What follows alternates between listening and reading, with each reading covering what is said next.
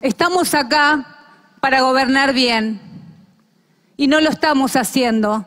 Estamos pensando solamente en nosotros y eso deberíamos cambiarlo. Y la verdad que voy a hacer un llamado a los senadores y senadoras.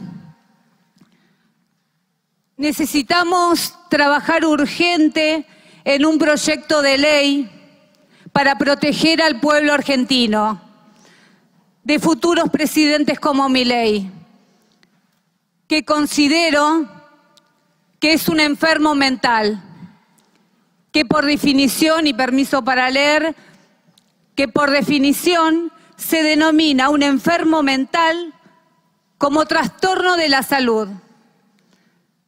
Es decir, trastornos que afectan en el estado de ánimo, del pensamiento y del comportamiento de las personas.